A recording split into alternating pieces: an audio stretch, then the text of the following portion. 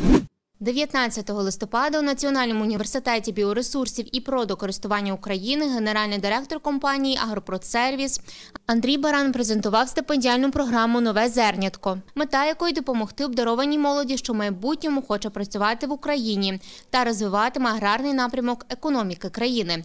Перші іменні стипендії призначатимуться на 6 місяців, а в подальшому 16 студентів з восьми навчальних аграрних закладів зможуть її отримати протягом всього навчального року. Подумали і вирішили піти отаким шляхом.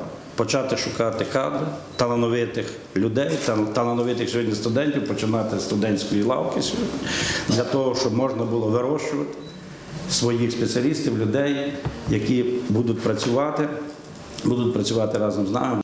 Стипендії в розмірі 2 тисяч гривень щомісячно призначатимуться студентам, які хочуть себе реалізувати і знайти роботу у сільськогосподарській сфері.